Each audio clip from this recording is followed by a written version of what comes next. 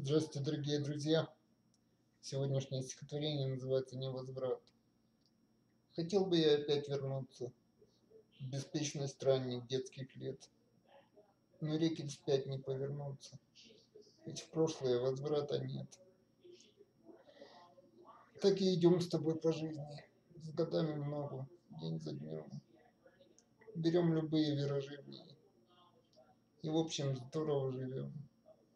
Мы жить не можем днем вчерашним, Ведь нам вперед давно пора. Порою просто жаль бывает От нас ушедшего вчера. Спасибо.